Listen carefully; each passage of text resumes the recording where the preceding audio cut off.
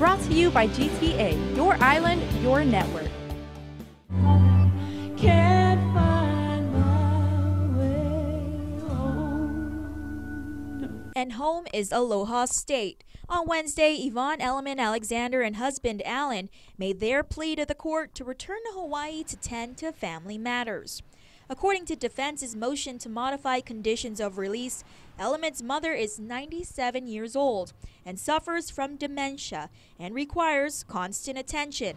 The motion states, quote, her mother calls out for her daughter every hour, end quote. Also at issue is Elliman's health. Prior to her trip to Guam, she underwent lumbar surgery and requires rehabilitation. As we reported, the couple was arrested on Guam on August 15. After one night in jail, they were released on a $10,000 performance bond. The couple allegedly had in their possession 3.3 grams of marijuana and 3.5 grams of ice with a glass pipe. In court on Wednesday, the prosecution objected to the couple's travel, arguing all criminal defendants should be treated the same way.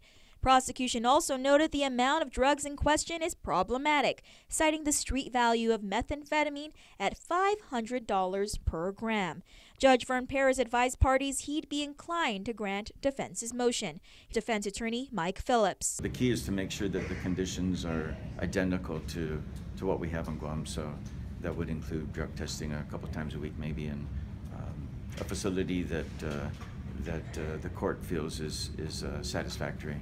We'll work with probation here also and make sure that uh, that they're satisfied. That's really the key. The government has until September 5th to indict the couple on first and third degree felony drug charges. Phillips says he's looking to resolve the cases. We're going to try and, and do our best with the AG, but if not, then then they'll return. They may return anyway for for different reasons or, or uh, maybe at the end of the case. And as they say in showbiz, the show must go on, and it did.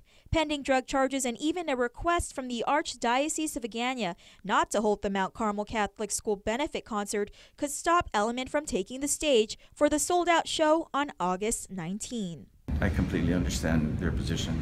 Obviously, um, with uh, the work that uh, the uh, the students have uh, have completed and uh, the effort that they made for uh, uh, in preparation for the concert, we made the decision that uh, it should go through, and uh, you know, we we uh, we respect that uh, the, uh, the our leaders in the church have, have a different view, and um, our action and our decision to go forward is never intended was not intended in any way of disrespect. A return hearing is set for Friday. Elliman's arrest not hampering her feelings about Guam. We love our home too, but uh, as far as the people, this is our favorite place. Brought to you by GTA, your island, your network.